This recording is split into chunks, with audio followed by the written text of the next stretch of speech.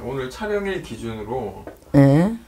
18일 남았습니다. 대선이 이제 코앞에 나왔거든요. 음, 참 구구절절이 사연도 많고 말도 많고 달도 많고 선생님께서 이미 어, 공수를 받아 두었거나 뭐 기도를 하면서 본 게 있거나 좀 이미 알고 계신다면은 그렇죠. 이제 이 할머니들한테도 어느 누가 하면은 잘 되겠냐 그거는 우리 제자들은 다여 신령님한테 물어보고 그런 거는 사실이에요.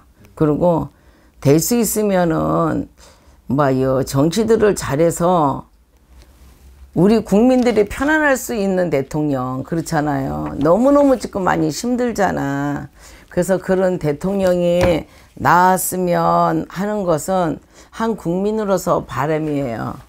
그래도 그 중에서 이제 뽑는다고 하면은 답변이 나오겠지. 근데 이게 참 말하기가 굉장히 어렵고 힘든 거야. 어느 누구나 다 지지하시는 분들이 있잖아요. 그래도 할머니한테 물어봐야지. 응. 오늘은 우리나라는 대한민국을 씁니다. 나라가 편안해야 백성도 편안하더. 전지 신령님들 만성수님. 이 시도는 할머니 옳은 공수천 내려보실 적에. 어 누른다. 우리나라 당군 전에 만성 스님들이 다가 구여보시고 옳은 공수 천들을 내려를 보실 적에 어느 분이 나라의 이름 놓겠나요?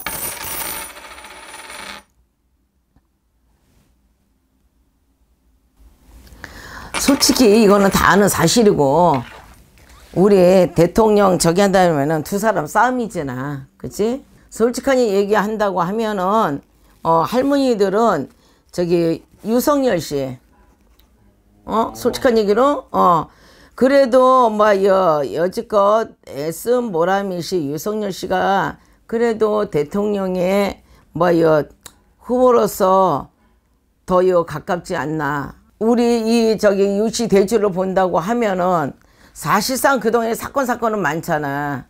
사건 사건은 많고 그러는데 그래도 어떻게든지 우리나라를 꾸며서 한 번쯤은 해서 이렇게 세우고 싶다고 하는 그 마음의 자부심이 뚜렷한 사람이거든. 다른 후보자들도 그러겠지만 그래서 여러모로 봤을 적에는 그래도 저기 뭐여 유석열 씨가 그래도 대통령으로 완감하게 여 나온다 이러고 여 말씀을 하시거든. 그런데 어느 분이 나와도 상관은 없겠지만 그래도 좀 조용하게 넘어갈 수 있게끔 할 수 있는 분은 우리 유석열 씨가 아닌가 봅니다. 어 그리고 어뭐 나중에 누가 됐든 간에 이 정치라는 것은 우리는 정치돼서 몰라요, 그죠? 네.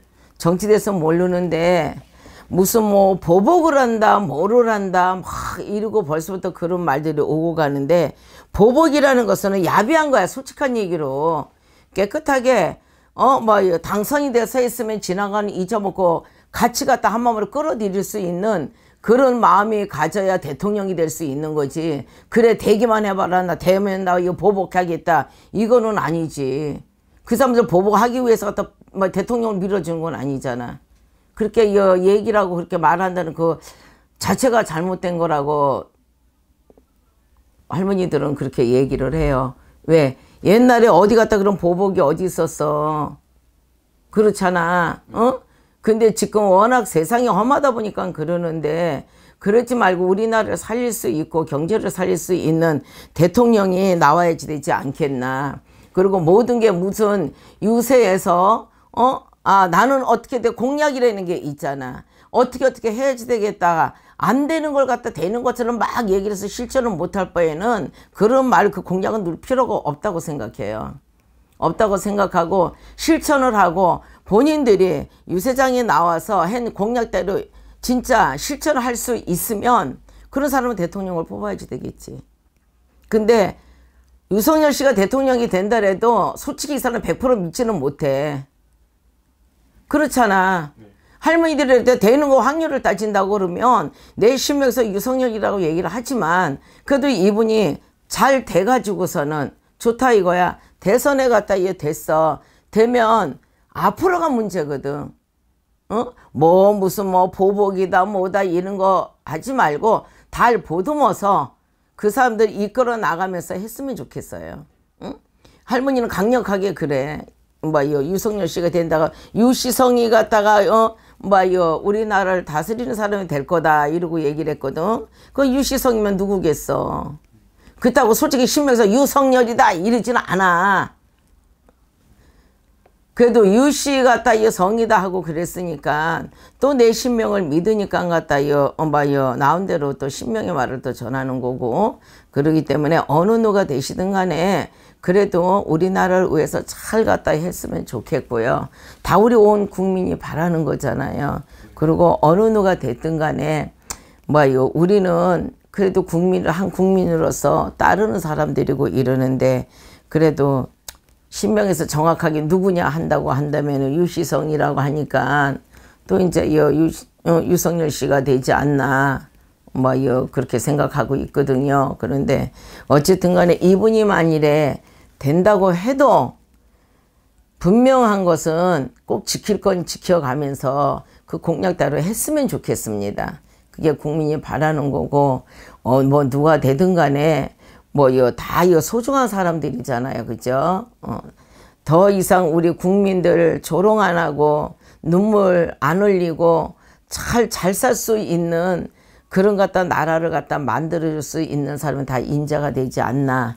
근데 그 중에 뽑는다 그러면은 뭐 유시성이라고 하였으니까 어쨌든 간에 올해 지금 이제 며칠 남았지?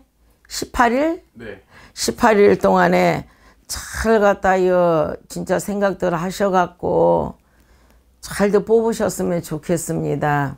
어느 분이 되든 간에 우리 되시는 분한테 진짜 이 격려의 박수를 치고요. 우리나라가 더 편안히 잘 살 수 있는 나라를 만들었으면 좋겠습니다. 여러분 청학만신이었습니다. 감사합니다.